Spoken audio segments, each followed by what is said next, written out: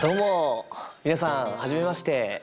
梶裕貴です。ご覧の通り僕のやってみたい100のことが今ここにありますね。これを一つずつ実現していこうとそういうような番組でございます。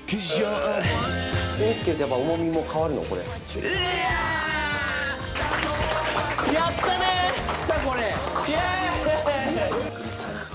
すいません。横からグリスおじさんがずっとグリスグリス塗れグリス塗れ言ってくる。グリス塗れ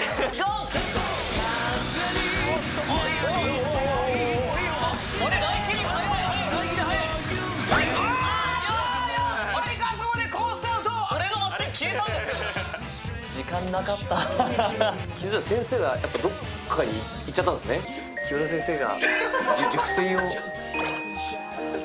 疲れなんですね。梶お兄さんと。下のお兄さん。何がおかしいのよ。名前いただけでしょ。マゼラースイッチ。オン！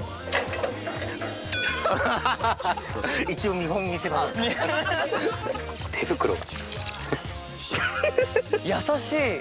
完璧ですね